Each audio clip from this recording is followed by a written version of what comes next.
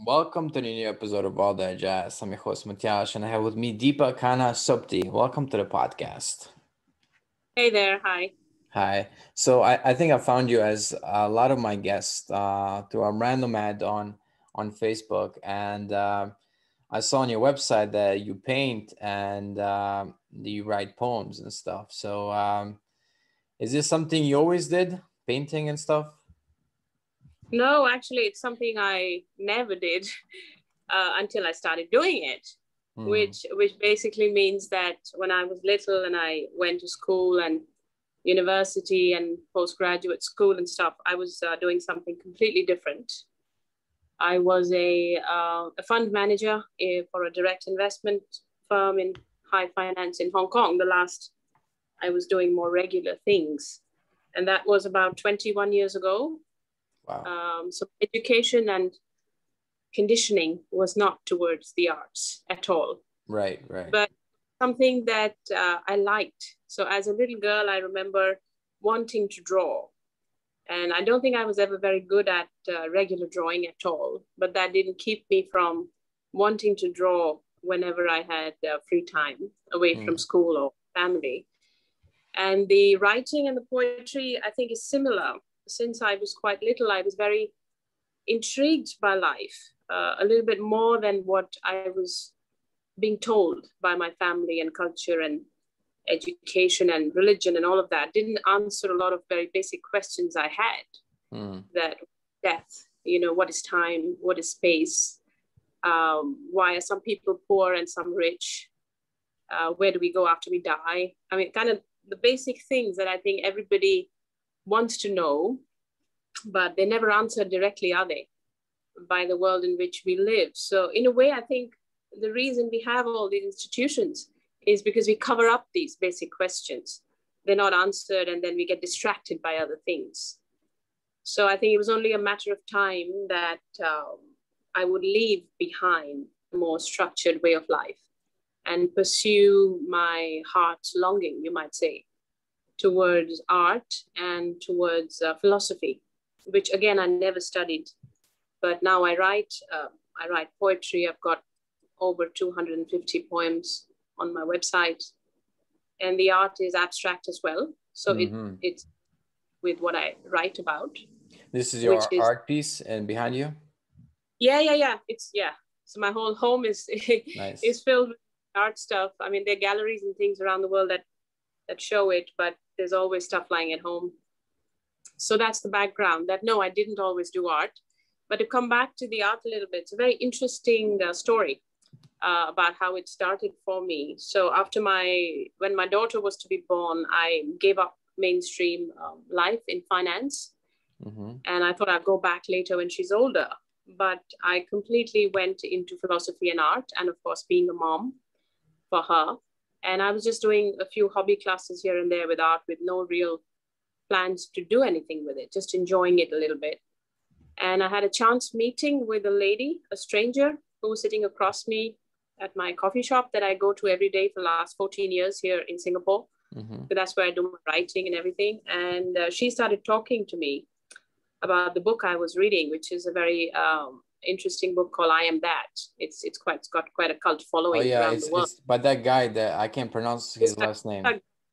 So he, he's my I, he's he's the one whose books I still read. Okay. Uh, every day, even if it's for ten minutes or whatever.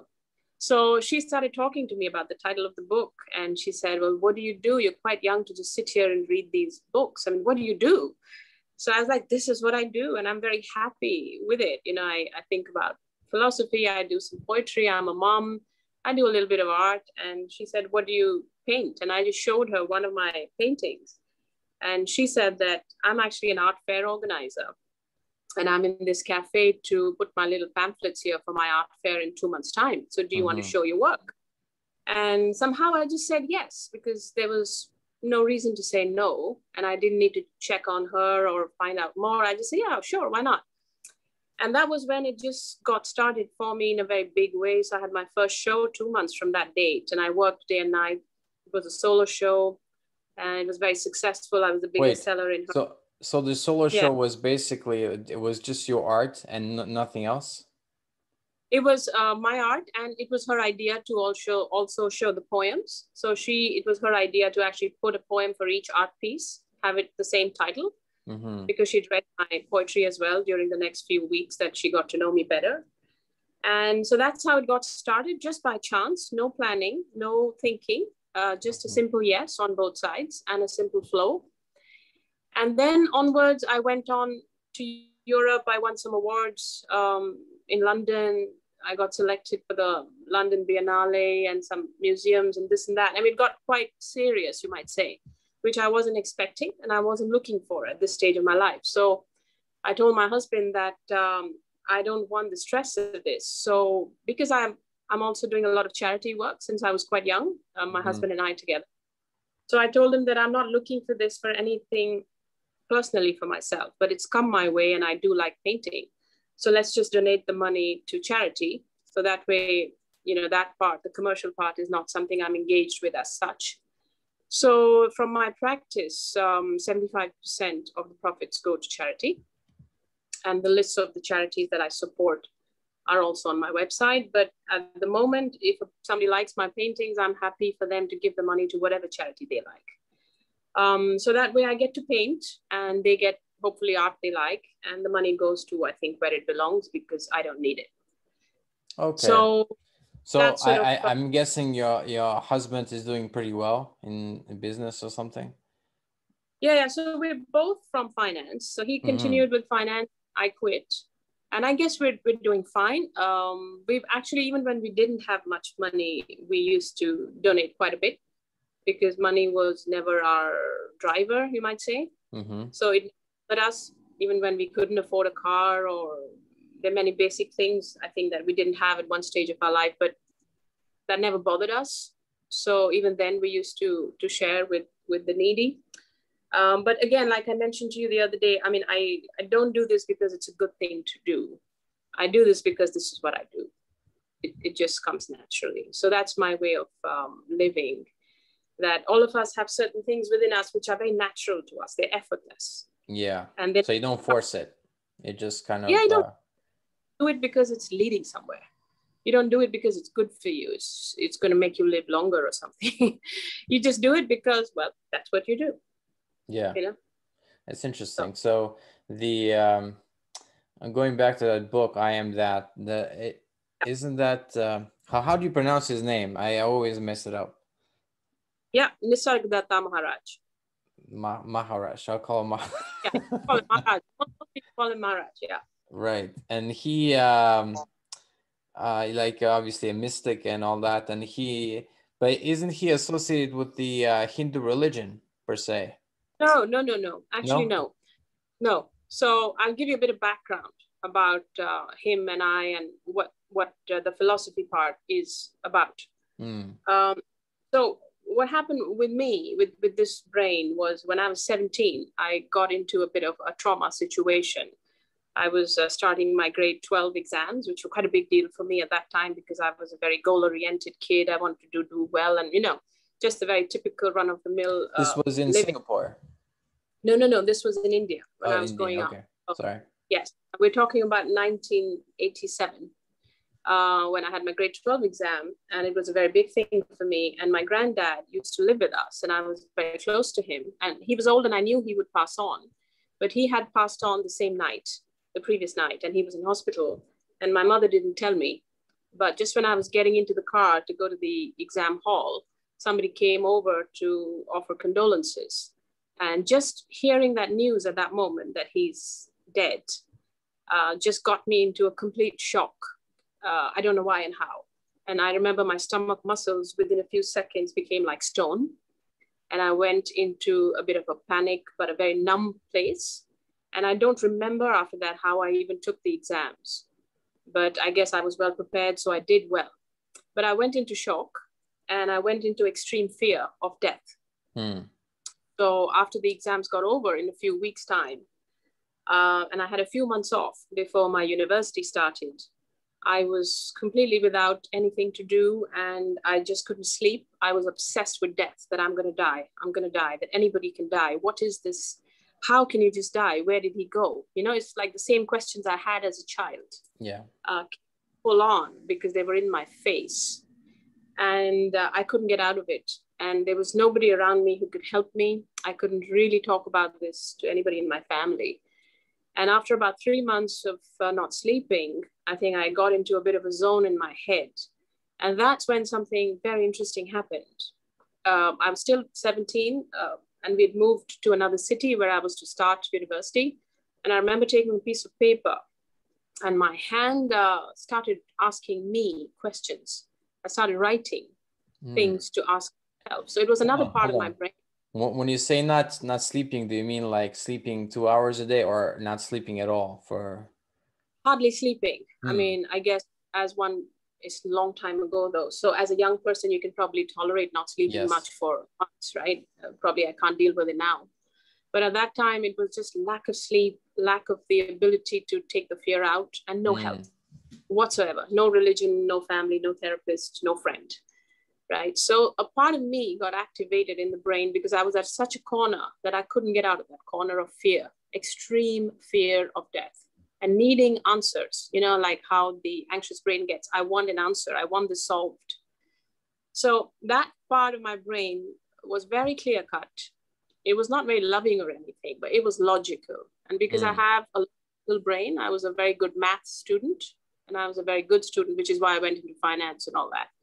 So it asked me some very simple logical questions. And it said, okay, so dead bodies freak you out, but there is a chicken in the freezer which is a dead chicken, and you're going to eat that tomorrow, right? Right. And so, do you actually think there's a difference between the chicken's dead body and a human being's dead body? Is there an actual difference?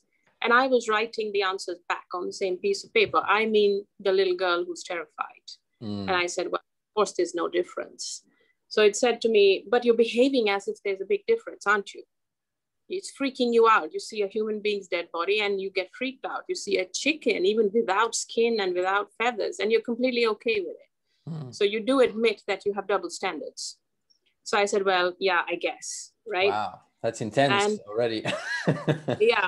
Then it asked me the next question. It said, so you're not sleeping because you're waiting for your mom to give you a hug. And you keep saying that i'll only sleep when somebody comforts me and says to me everything will be okay and then i'll sleep. So then it says to me if you already know what you want to hear to feel better why the hell can't you say it to yourself? Why do you create another person outside to say something to you that you already know is going to make you feel better? Why must it come from another source? You already know it's, that's what you want to hear and you also assume that the mother is not capable of it. So you love drama don't you?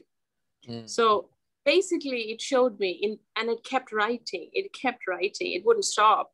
It showed me that i already contained my entire world. It was made of my own beliefs which are all very contradictory in nature extremely contradictory.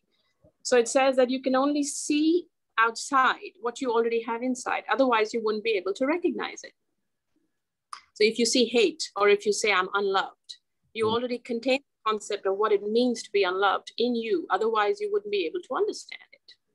Yeah, and, and that aligns also with um, the famous psychologist Carl Jung saying that uh, what you hate in other people, you you don't like in yourself, basically.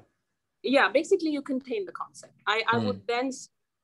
So something had opened up, but the girl was still freaking out so it had only opened up at the level of the brain that relates to handwriting, but I couldn't act it, I couldn't feel it, I couldn't talk about it. Mm. And when I it, when I read those pages, the last lines I remember were, "So don't you see? You already contain your own father, your own brother, your own lover, because you already know what they mean, and that's what you're going to see outside because you already contain it within you as beliefs." And I tore it up. I completely tore it up because I thought I was going mad, that I'd finally lost my brain And I remember telling my parents, I'm not okay. I need to see a doctor. Oh my. And they did.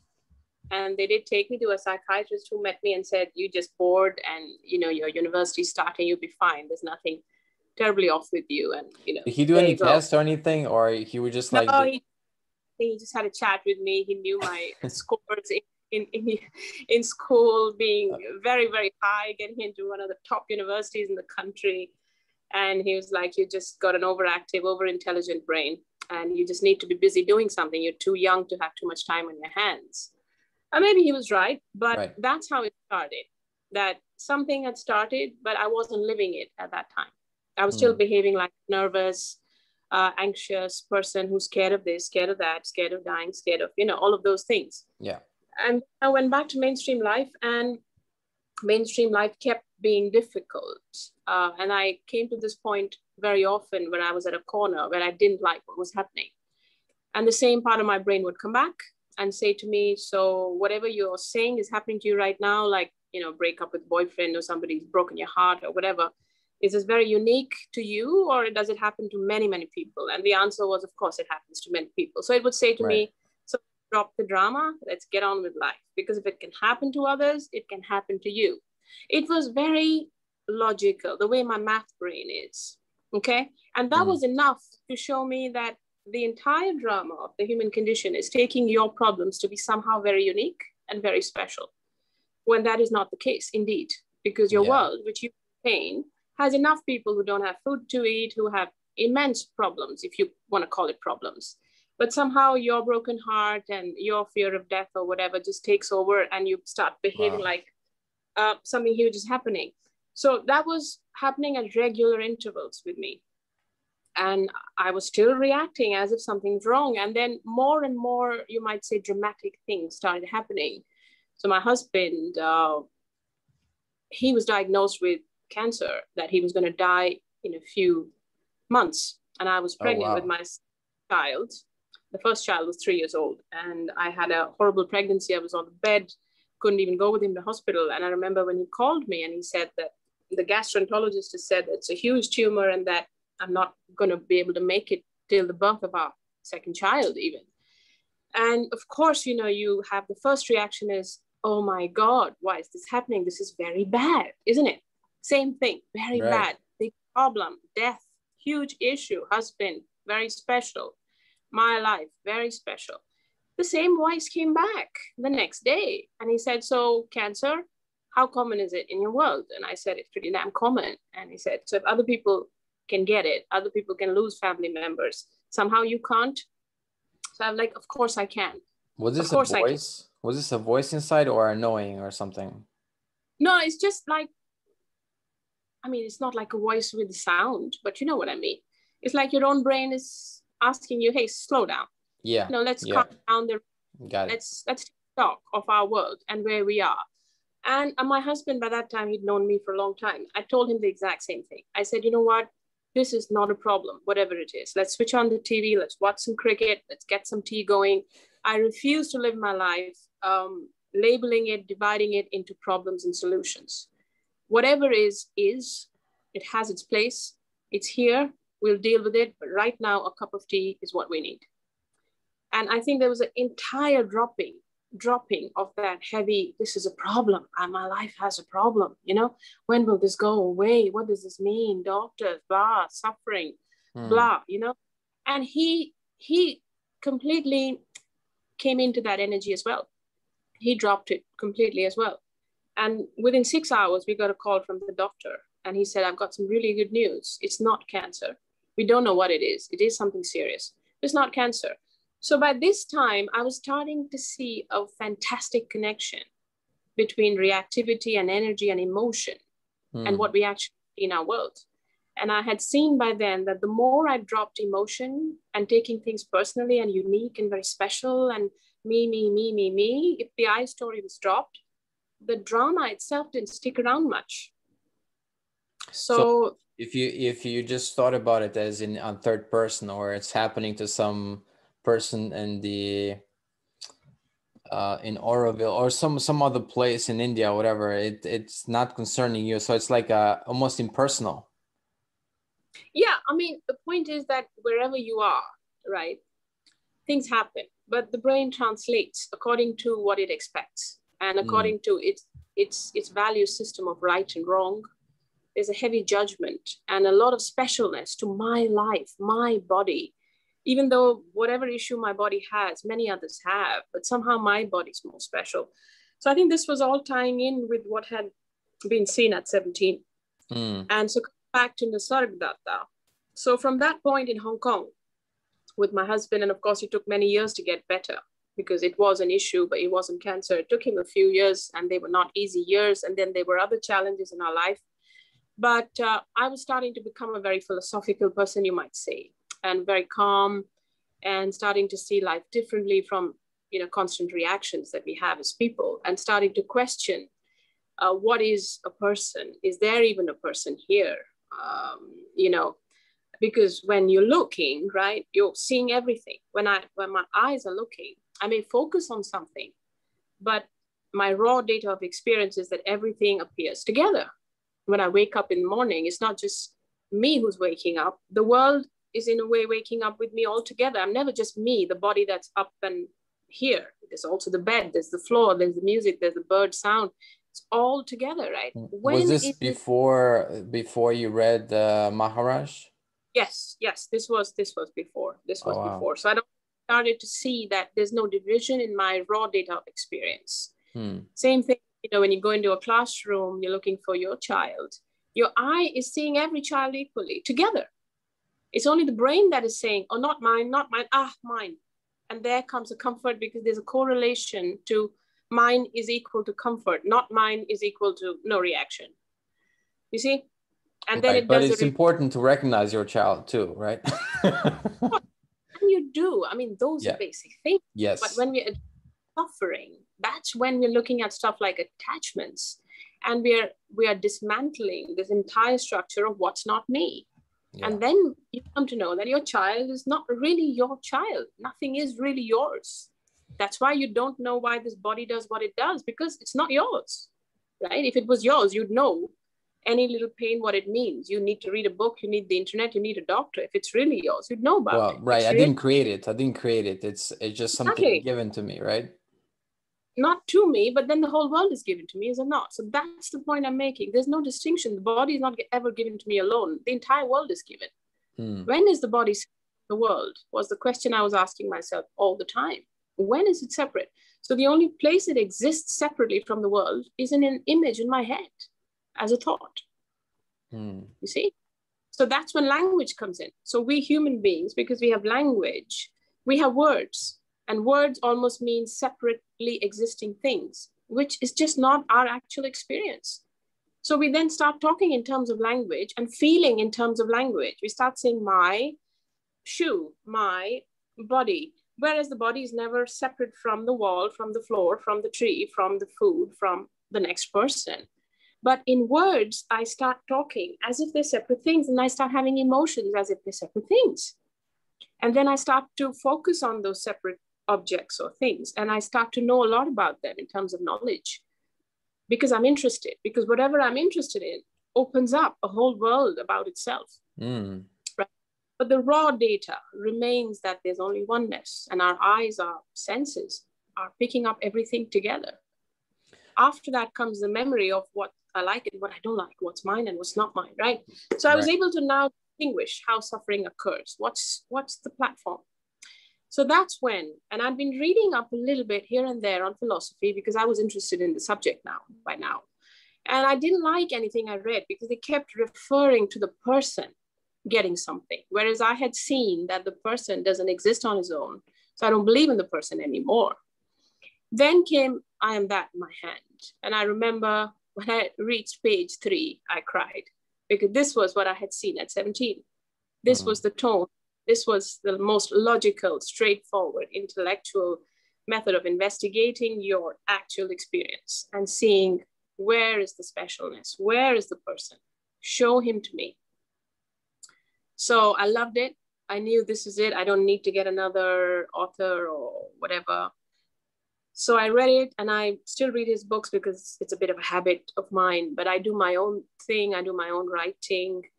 So um, yeah i mean and out wow. of that so much come out so much has come out the fact that you don't exist the fact that you're everything because everything exists together right the fact that so that's why my my practice my website is called emptiness is full mm. found I, li- I like yeah I'm, I read that poem I liked it um but back back to Maharaj I I had heard of him because my my spiritual teacher David Hawkins mentioned him and, and recommended him highly and mm. I heard of the other guy, um, uh, Ramana Maharshi. Yeah. Yeah, yeah. They were. Um, I think they were alive at about the same time. I think uh, Maharshi yes, died years before uh, Maharaj. Yes. I think Maharaj died in the eighties, right? Eighty-one. Yeah. Eighty-one. Yeah. Right. Right. Yeah, but their their their temperament and their frequencies are a little different. The message is exactly the same. So I prefer Maharaj's books because of my uh, resonance with my the way my brain operates. I'm very yeah. no nonsense uh, type, although I am I can be sweet and emotional, and I I really tap into people's pain and all that. I always have, but basically I'm very clear cut, right? So Maharaj's method is that of investigation. Uh, Ramana Maharishi is softer, you know, he's he's he's softer. So I have read his books, but they didn't draw me as much. Yeah, yeah, yeah. So it's about what attracts you, obviously. Um, and yeah, they're both what... uh, high spiritual state, I would say. So, uh, what is um, uh, Maharaj's then uh, style of inquiry, or what does he do? Because I haven't, I, I plan to read his book. I haven't read his books yet. Yeah, so I think he he will just take you all the way back from your personhood to the fact that there's consciousness that contains everything and everything appears together. Mm. And that consciousness is the same in everything, right? It's not similar, it's the same. So the same consciousness in a tree produces the universe in which the tree exists. The same consciousness in a mosquito produces a mosquito's world. And same thing in a human brain uh, produces a human world. But the difference is that uh, in the animals and plants, there's just survival instinct, which is not self conscious, which doesn't know itself, right? Mm. But it has innate intelligence. So it's always the whole. In nature, it's always the whole. And the body is the same as animals or, or plants because it's just responding by itself to the whole. It knows how to breathe, it's pumping the blood, it's responding to viruses, bacteria naturally. Mm. It has a it has a immune system, very much like animals. But the only difference is that a human brain has the added ability to take ownership and to translate and to overanalyze and to overthink and divide up the world and see itself as more special, which is exactly what I had seen uh, that I was doing, which was creating my suffering. And you can get very caught in the suffering and the solution for the suffering, and thereby you create time. So you go into time because the way things are right now is not good enough. So then yeah. I must have else, a goal in the future. And because we know there's no time or space, there's only now. So then we're going into illusion. We're going into time, right?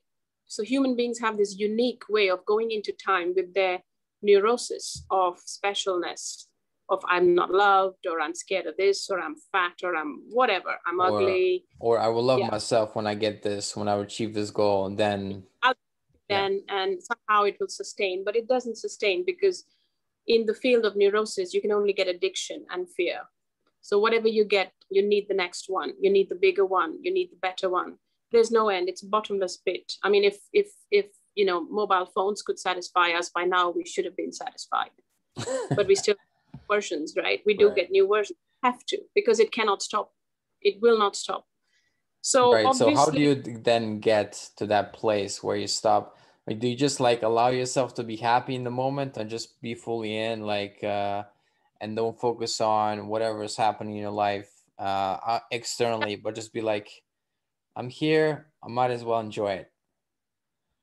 Yeah, I mean, there's there's many ways in which it happens, right? So mm if the neurosis is compulsive, which it is for most of us, where we can't help being drawn to certain passions and certain things, right? There, there is suffering and pain, which is a part and parcel of that seeking that I want to get enlightened. Even spirituality gets into time and becomes about, I want to get enlightened like Maharaj. I'm not enlightened. I need to be like him. So the seeking is built in and it'll find ingenuous ways to come in and create time. So that that seeking energy or that pain of further creation is just observed, is just seen, I think that's where you come to. You can't fight with it at its level because it wants that. It wants to be fought at at its level because then there'll be time to get over the fight. It's again creating time. So you only observe without judgment. So you can just hold the pain, you can observe it, you can be aware of it, you can hug it, you can allow it.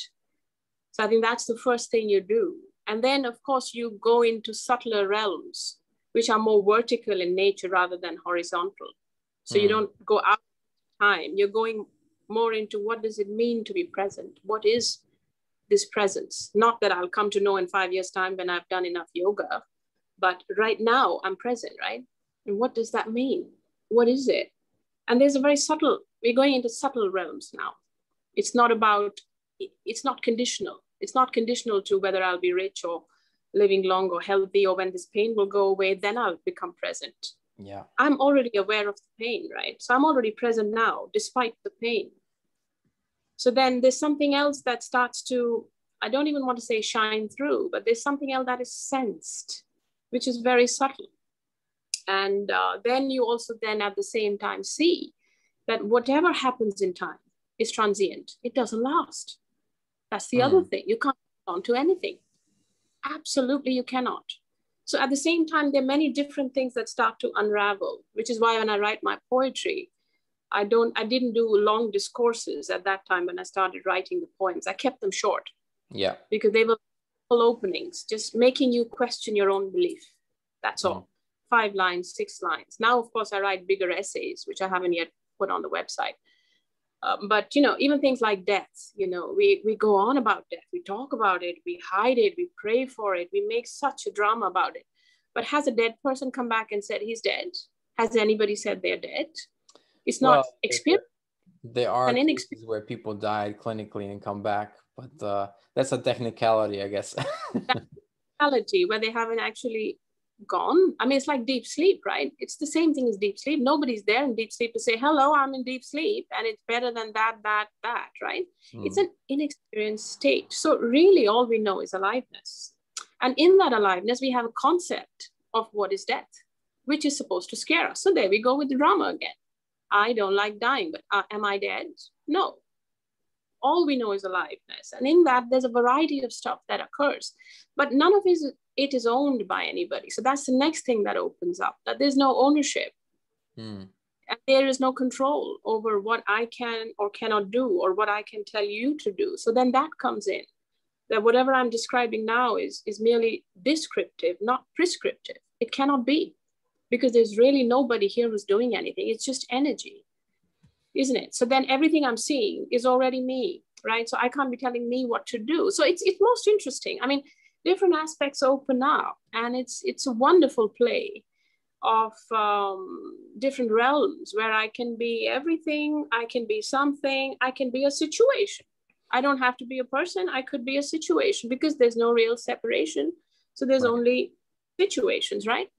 But this brain has this ability to blame, has so this ability. Yeah. Let's say let's say the world would be uh, uh, very different if everybody would stop trying to change other people and just focused on doing what they enjoyed and stuff like that. It seems like it would be very different because uh, even in my life, I find that I have a lot of shoulds. I should do that. I should study. I should finish my exams. I do do this there's a there's a lot of there's a lot of shoulds in my life financial and you know goals and otherwise so if people didn't have that would they behave differently would they even would they pursue some of the things that they're pursuing now or, or it'd be totally different yes you know that again we don't know but i think that's when we just come hmm. back to what we know at the moment the moment opens up and anything can happen in that moment and I think what you finally come to after years of looking at this, analyzing this, playing with this, enjoying this, even seeing benefits of it, etc., is that it's all allowed because it's all transient. So even the divine, most divine knowledge that I don't exist. I mean, I remember when I came to that again and again about five, six years ago. My goodness, I don't exist. My goodness, I'm just a random hallucination of food energy what's talking right now is the sandwich I had for lunch. Because if I don't have food, where is all this knowledge? Where is the art? Where is the past? Where is memory, right? Nothing exists outside of food energy from, from the earth. And that just randomly hallucinates stuff, which is not real because nothing sticks around. I mean, where is 20 minutes ago or half an hour ago when you and I said hello? If it's so real, show it to me. I know you're recording it, but it's not the same as being present with it. So stuff is just leaving us all the time. So we mm. can't get too even about the deepest knowledge. This is key because that again becomes a burden. Then I'll start to tell other people that I know something you don't, and you're behaving like a fool. You're pursuing money. You're I'm ju- then I'll start judging people. I've divided the world again. You see, and right. I have to carry right. in me because I am the world. I have to carry that horrible person in me, and it must be in me, which is why I see it outside. So well, it's yeah that's a, that's the problem of a lot of people i mean including me like uh, i have some positions uh, let's say um, political stuff and then i see i see this camp and then i see that camp and then yeah. that bad camp right. right yeah because the thing about opinions personal opinions and good and bad is that if you take a position it has an energetic component to it yes. so to balance energy, it must see its opposite. It's like classical physics then, because a wave in classical physics is the up followed by the down in equal measure. I suppose the, the Hindus would call it karma. So whatever you identify with, whatever you say is better than something else, you must see the other side to balance that out. You know? Or or force is always there's always a counter force in physics. Equal right? and opposite reaction. Exactly. So then you're so you understand everything after a while energetically as well as spiritually as well as in everyday life so i think many different parts of the brain start aligning but you get nowhere. Why? Because you can't leave from here. And mm whatever this is is immovable and this has nothing to do with the character. The character is just a little dream character who seems to after a while understand its own non-existence which people call a little bit of awakening right. or whatever. It may change life because after that you don't think very much. That's the good thing that happens. Thinking stops. So the anxiety and everything right. doesn't stick around too much because you know that life knows how to run itself you see nature is produced by just being alive just being alive the entire cosmos is produced it does seem though that even though we are all people that people have different interests so even so it seems to me, mm-hmm. even if this happened, then uh, some people would be more like would still be interested in in arguing, you know, going into politics because that's um, that comes naturally as, as far as uh, you know they're passionate about this and they're they're the, maybe the warrior archetype or, or something and then other people yeah. are more you know uh, philosophy other people more into art other people more into physical right. stuff sports because that comes naturally right Absolutely. So then it's all down to it's all God, it's all nature. Somebody's a farmer, somebody's a businessman, somebody's a banker, somebody's a robber. You have a saint, you have a sinner. They they both need each other, right? So you're the saying is, does is it important what you choose? Is it at all important to you? You're not the chooser. It chooses you. You're not the chooser. There is no choice. The, I'll tell you the okay. The thing about choice is that when naturally an energy is depleting, right? When naturally an energy is depleting, it appears as if you have choice. But that's only because the energy is ready to deplete. So it suddenly looks like, oh, I could stay home or I could go out. It doesn't matter, right? Because there's no big passion behind it left anyway. Right. But till the time I'm kind of person who's taking to the streets, I'm leading a bunch of people, I'm marching on the roads, there is no choice. I will go whether rain or shine, because the energy is choosing me to do that.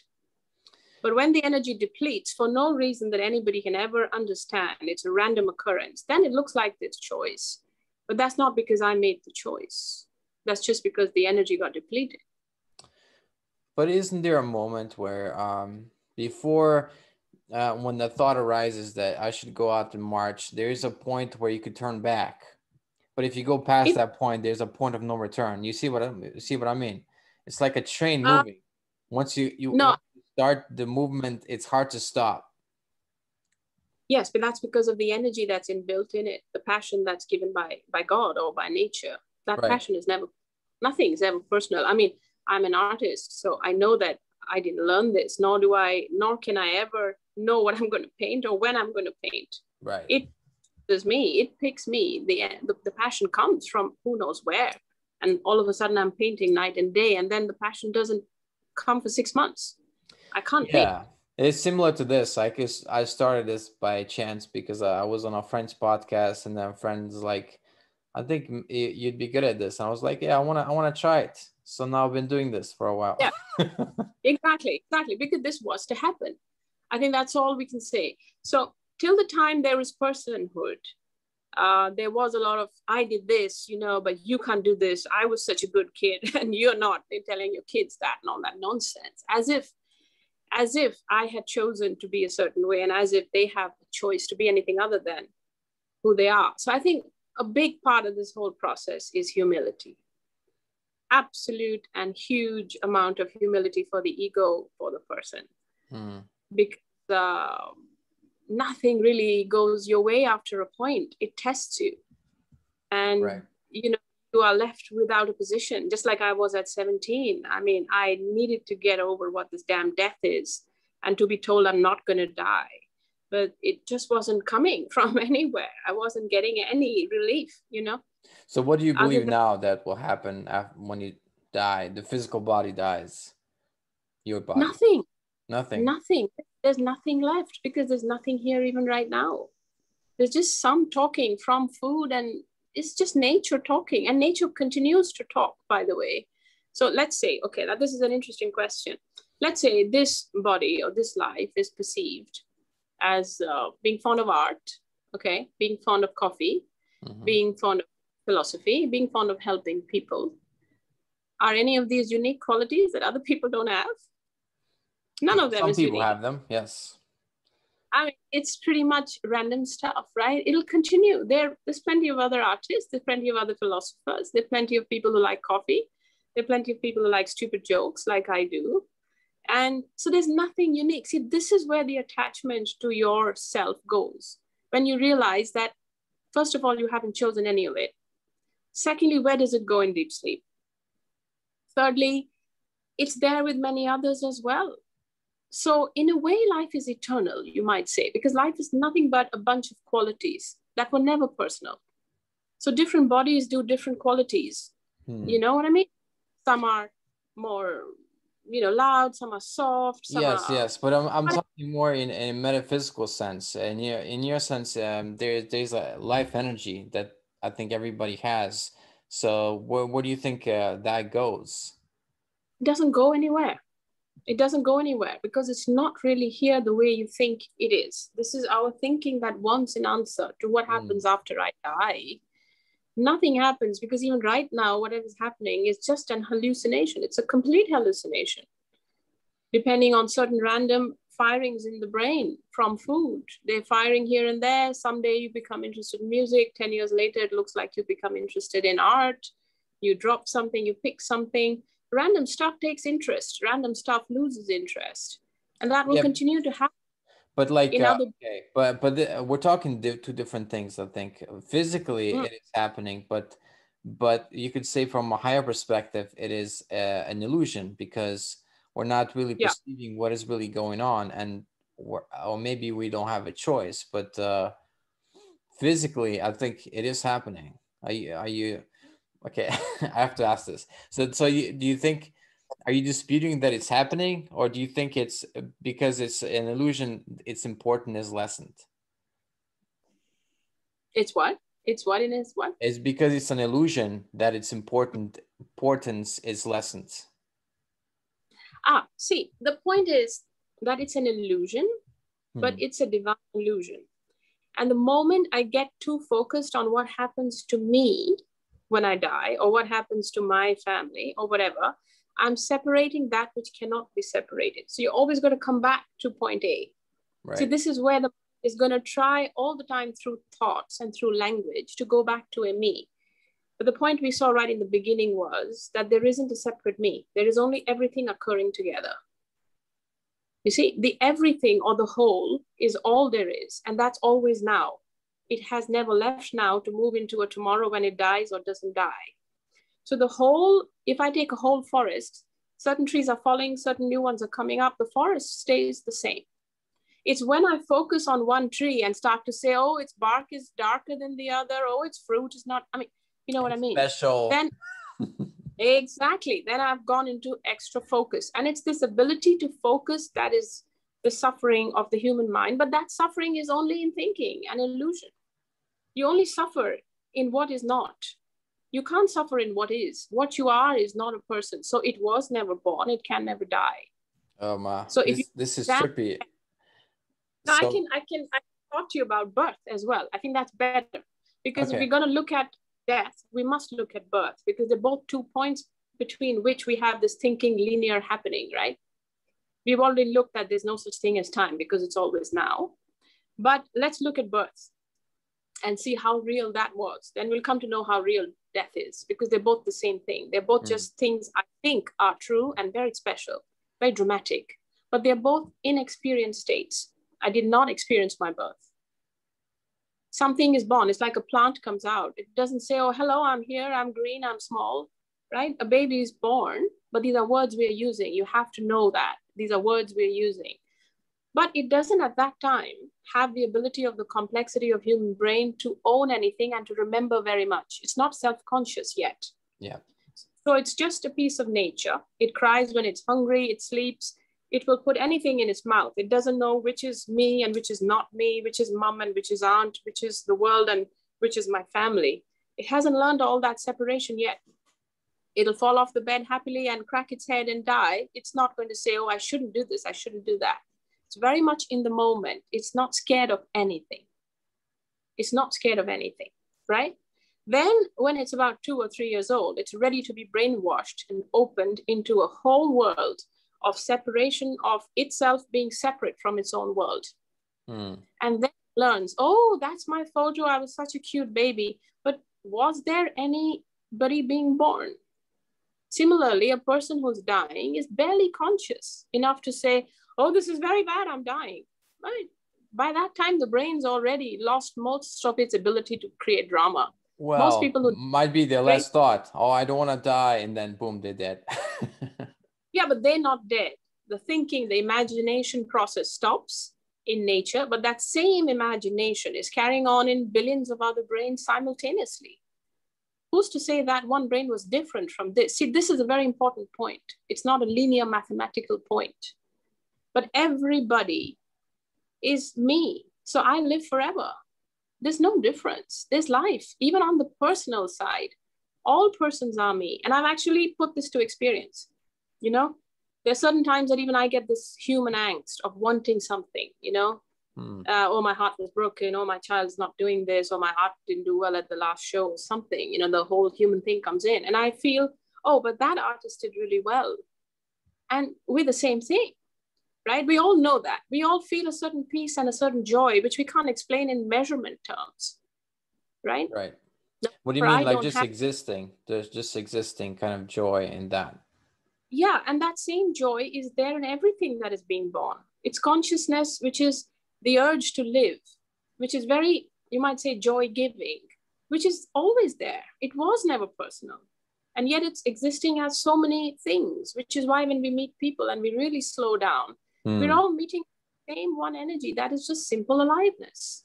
Then we take it up a notch. Let's say three moms are sitting together, one from Africa, one from India, one from Canada. We're all moms. We're all feeling the same hormone of a mother's energy, a love for her child. Absolutely the same chemical is being released in the brain and the same feelings coming up. It's all very technical, finally. There's nothing personal or emotional about this and nothing special. Mm. So if you you see, when a candle finishes up. We just say, oh, kind of finished. We don't say it died. See, that's the difference. That's what the human brain does. Well, it brings the drama, dead. Oh, you know? right. It did. Uh, it did light uh, everything, so its energy went somewhere. But you could say you could say in physical terms that the energy has been transformed into something else. So, so yeah, actually, we always explanations for things that are special to us we have we look for no explanation as to why you know the cockroach is so shiny and why he's bronze colored and where did he go? I mean, we just crush it and throw it off. I mean, they, this National Geographic people do have make shows about it. I know, but I mean, I'm talking to you from my own personal experience. Yes. If you want to freedom, the freedom is from yourself, and then you're not going to get anything better for yourself. So all the agendas have to go.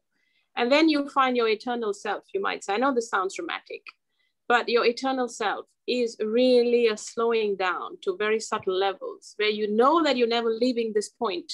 But that's not Deepa, who doesn't leave this point. Deepa's leaving this point all the time when she's like, oh, I need to get there. Oh, this was compared to that. You see, that brain a little bit carries on and there's no problem with it. That's its job. As a human being, you will have some neurosis. You will have hormones and chemicals that will make you dramatic here and there. Yeah. But a few new habits have come in which know that there's not a problem. Mm. Whatever I know the else has, life is eternal and it's always one. It actually never moves from here, so it cannot be destroyed. There is no movement, yet thinking makes us believe as if we move. The movement is only in thought. So would you agree agree with the statement that life cannot be created or destroyed? It just is. Yeah, just is absolutely, absolutely. Mm. It is, and it gets bigger as you show interest, which is quantum physics. As I look at something, it keeps expanding because of my interest in it, not because by itself it has anything. But that would right? imply so my, that you're causing something to happen. No, because my own focus in the thing is not something I can help. So I'm not causing it. Oh boy. Right? Oh wow. I see. Yeah, absolutely, absolutely. The interests and the beliefs are already there are already there. That's why. So, you're saying that it, nothing we do is uh, is caused by anything, even by our decision. It's just happening spontaneously of its own. Absolutely, it's just there's no cause and effect. There's no causation because it's only now. I mean, in nature, right? There's this very beautiful Zen line, which is the bee comes, the flower opens. The flower opens, the bee comes. It's one event they're not two things. It's one event. It's hmm. completely mm. one. It's not two things coming together. That's the way we analyze stuff. We, we bring in time lags and and things like causation. Yeah, well, um, I think I, I like that perspective, but then um, I think there's two there's still two purposes of thinking where you're talking about like let's say taxes when when they decide how how big how big should the tax rate be and what's that gonna how what's that gonna affect the, the people and you know the tax revenue and all that. That seems very linear and it's still in some way is still necessary because it affects um yes if it's necessary then nature will make some people interested in that. Right right. Yes nature will make sure that is happening for the neurosis to play out, which is also part of nature, for the greed to play out, for the fear to play out, for the institutions to play out, to fail, to come up. This is all nature's work. And so even is, in time, yeah. what is all done by nature, the whole game of confusing you, making you think you need protection, you need cemented homes, you need to farm stuff that nature doesn't provide you naturally you need to think and you need to use your intellect you need faster planes and faster trains and all of that is still nature. And it will bring you to a point of exhaustion. It will bring you to a point of confusion. That where is the happiness i was promised? I got the award i got the money i got whatever and i'm very scared of dying. I mean that fear will still come the fear of death. You cannot get away from that no matter how much technology you have how much money you have how many taxes you paid right? How many causes you have right. right. You're using nature in a, in a very um, interesting way, but I think a lot of people would call that universe because a lot of people wouldn't associate planes and taxes with nature. But I see the way you're using it is like it is is it is the nature of things to to take care of humans. So humans are just gonna do what they're gonna do, and that's and that's yeah. how the um, uh, through time the linear advancement of humans has been uh, yes. to build things and to invent things, right? That's what the human fear and neurosis will keep producing, keep going outwards, keep going into time, keep going into space. The curiosity never ends. Uh, and that's fine. That is what happens. That's what the human brain does. And then it also has the beautiful ability that no other life form has to go back to source mm. and to consciously realize its non existence, to consciously realize its eternal nature here now, which doesn't move. With that, animals cannot do, uh, plants cannot do. So human beings can go both ways. They can go outwards and cause immense suffering, which was, can only put. Was there a cow that got enlightened by uh, Ramana Maharshi's cow? Uh, yeah, yeah. yeah, very sweet. I mean, such things are so beautiful to read. Right. There's no explaining why they seem beautiful. And I think that's really what art is, isn't it? That's what philosophy is. That's what people like I are doing. Are we're breaking down things like measurements, comparisons, going and having setting up conditions to happiness, and uh, bringing back simplicity. You know, mm. very very subtle simplicity, which never leaves you and in a way inviting you know my my viewers to a point where fear can be shed and you can know yourself as infinite potential because if, even within the relative world of time and space you can be anything. You can be anything you're interested in. You know if you slow down enough then the heavy conditioning comes off. And there's freedom there's joy there's mm. immense joy. And so, there's miracles everywhere. There's miracles. So if we're everywhere. not burdened by by the thoughts, uh, I'm not good enough, or I can't do this and can't do that, yeah. and just go into what what feels right for you to do, and uh, go into that interest, and just start doing something that will expand and grow on its own, and you don't need to do much. Um, yeah. um, you know, uh, deliberation and pondering, or what you just go into action. Isn't that the? Yeah, you go into action. If there's passion there, it will make you go into action but what I'm suggesting is a bit of a slowing down to examine your assumptions. A lot of times we are running with assumptions which need mm-hmm. examining, you know, and which are not true. Like I'm a separate person. It's right. a very simple assumption on which all our suffering is based. All our comparisons are based on that. But if I look, I, that's not the case. If I hear, that's not the case, right? So just interesting points. I think that's what an artist does. That's an artist's job to show you something other than what you know.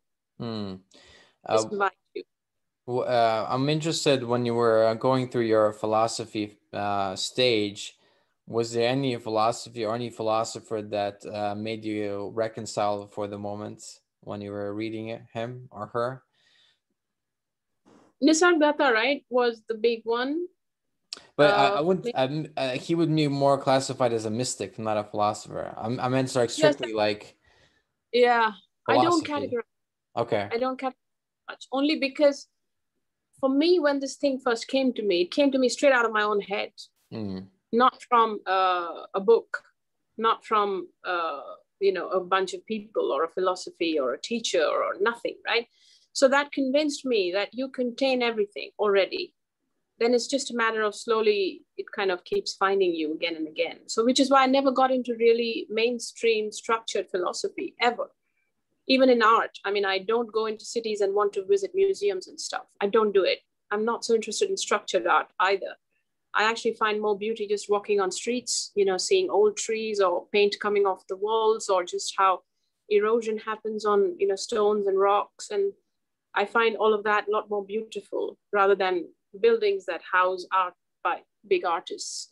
So i'm not fond of structure hmm. or heavy identification I, I think beauty is everywhere I think art is everywhere. It becomes almost a way of living, right? Art is not just what you paint, it's just how you live almost.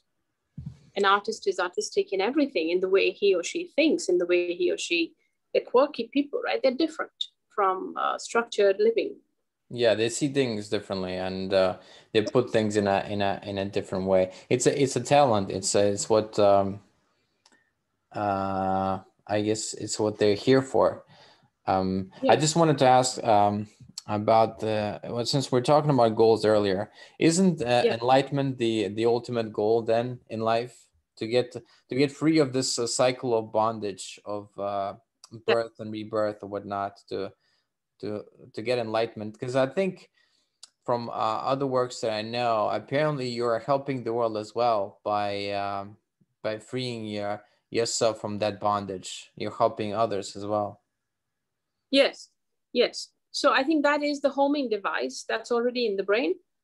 It's not something that, uh, as always, it will show up at some point. And uh, this is the actual purpose of the complexity of the human brain that it has the ability to cut through all the conditioning and all the limitation that's been there for thousands of years. Because every time I get bonded into something, I'm not just bonding into it now, I'm bonding into its ancient nature. You see, it's the same pain. Let's say if it's a mother's pain or a wife's pain or whatever, lover's pain that every lover's ever had, every mother's ever had. Mm. So, actually, uh, not mine. It's an ancient suffering. And every time you focus on something, you're tapping into its ancient nature. So, yes, but at the same time, there is also the suffering gets to a point that there is no other way than to look at it differently. And the moment you change perspective from being special as a species or as a person, the whole structure unravels. Mm. Because in time and space is, is built on human beings thinking they're special and they will find something in time. What nature has given to them as it is is not enough. The miracle of the sun and the stars and how plants grow and how water appears and how animals are is not enough for me. It's not enough. I need more. I need more security. I need to be told I'm going to live longer. I need separate medicines. I need this and that. I need technology. I need legal systems. I'm scared. I need to be better than that one. This is neurosis. And this occurs over time, and its solutions also come in time. So a sick person will be told, if you take this medicine for 10 years, you're going to be better in 15 years' time or 10 years' time. So or he needs psychologist or something. Yeah. Exactly. So you're always going into fixing, you're always going into time but it doesn't get fixed because then the next thing comes. That's the issue with time. Whatever comes in time becomes addictive and fear doesn't go. The only place that things are solved without condition is now. Now means everything else being as it is. All my stories are, oh, but I needed to get that. Oh, but I, I'm waiting to be that. I'm waiting to be enlightened. So even enlightenment initially, the brain, due to its poor habits, goes into time for it it thinks it's going to get it in time. It thinks it's conditional to its conditionings going off, you know, the human conditionings that when I'm not this, then I'll get enlightened. When I'm not that, it's yeah. not like that. The the the journey is inwards, it's vertical into now, into stilling. And then automatically the outer things that were of interest, they seem to fall away because the interest goes as you're more interested in presence, then obviously your interest in going outwards is exhausting. I mean, things right. that I could do very easily today, I find absolutely exhausting. So you probably changed a lot from when you were 17 to, to now, in for as far yes. as how you look, view the world, how you're affected by the world. Um, like, do you ever get upset with, with your um, uh, sons, or I don't know, do you have a daughter? My and a son, I do. I absolutely do. They are triggers their challenges, but I accept that as the, the price you pay for ownership. That's what happens. So if you have, if you say it's my kids, it's that my word that is going to cause ups and downs. So when they're happy, I'm going to feel happy. When they're low, I'm going to feel low. But I understand it. I don't need to break this down. Just awareness of it is fine. Mm. That's the nature. That's the nature. But of course, a lot of things I have dropped. The reason I dropped um, working for a you know company or whatever was because I didn't like the competitive environment and the stress that came with proving something to a boss or you know things like that. Yeah. Even my art, it's very non-commercial. I don't like working with people too much because they get very commercial and competitive and all of that, and that makes me uncomfortable. So I just leave. I just you know just say sorry, I can't do this, and mm. I'm comfortable doing because um, I'm okay with that. Earlier, I wasn't okay with it many, many years ago. So, yes, absolutely, there are changes that take place. Even the sort of people I meet when they're talking continuously about, you know, their problems and their life, and this is an issue, and you know, Donald Trump or whatever. I have no interest, absolutely none, in politics or fixing the world or why is this and they didn't do that for the virus and they didn't do that for the vaccine or whatever. I mean, yeah, I have no interest. I, I, I wish them all well. I'm not judging because they're only doing what what nature is doing as them, and I'm only doing what nature is doing as me. So hmm. there's no conflict. There's no conflict at all. So, so there's no there's no interest. So there's no conflict. There's no like I wish it was this or that. You just uh, no, live no. life. Yeah, live life, and uh, in the trust me, life brings you what is best aligned for you when you surrender. So basically, my way of living is the path of surrender. It's not a path of analysis. Okay, that's interesting. Now, so how do you then surrender to the moment? Okay, so I, I think I should give you more examples, which would be more useful rather than okay. talking, right? So, for example, when my husband was sick, that was surrender. That it is what it is, and we'll deal with it as it comes. It's not a problem so the moment you say something is not a problem, you've already surrendered. because the brain that sees something as a problem immediately goes into solutions. It's only the whole analysis of the world is only there because the world has seen certain problems that it needs solutions for. Right. If you don't see a problem, then you're trusting nature, right? You just put it down on God's feet or whatever so that, they say. So that phrase you said, it is what it is, that to it me is, is surrender. surrender. Yeah. So right. my, my son be quite sick with, with mono. I mean, he's 17 and, you know, that you get mono at that age and he had high fever for three weeks. And I have to say, as a mom, it was not easy for me to see him this sick. He couldn't speak, his gland was swollen. And he, I, as a mother, you want to be in a position to reassure your child about when they'll get well. And you can't do that because they're not yours, right? So I had to then tell him, and he's quite, he can slow down quite a bit. So I just held his hand and I said, Look, son, I don't know when you're going to get better but I do know that I can take you right now to a place where this doesn't feel so bad. If you just slow down with me a little, we can go down to a place where this is not a problem. It's just a vibration. The discomfort or pain in the body is just a vibration. Don't categorize it as pain. Don't call it pain. Don't look for a way out of it. Don't say, when will this go away? Don't resist it. I used to tell that to my kids when they were little that, oh, a little virus has come with its babies and its families. Let's welcome him. Let him stay. Let him have a party in your body.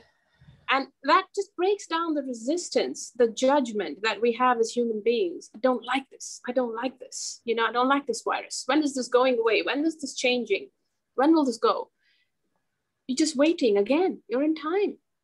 Whatever you get in time, you're going to have to pay a price for it. So the only way, the only place of freedom, surrender, joy is right now. Mm. It's right. I think that's what surrender is. But in other things, I think surrender is, for example, my art came to me by itself. It went up into craziness, lots of awards and sales and this and that, and very exciting. And then suddenly it just slowed down. But I didn't do anything for it. I didn't sit around waiting when is it coming back? What should I do? Should I contact some people? I did a little bit, but I have to say in my life story, whenever I've put effort, nothing happens. Nothing goes my well, so it's very... hold on, hold on. Some things you have to, even if you like it, you have to put. Obviously, people could look at your painting and be like, there, there, "There's effort in that," you know, creating that painting. I wouldn't call it effort. I'd call it passion. I'd call it madness. I'd call it love. See, when you love somebody, you can't control yourself, isn't it? Mm. When you're when you're madly in love, you can't control.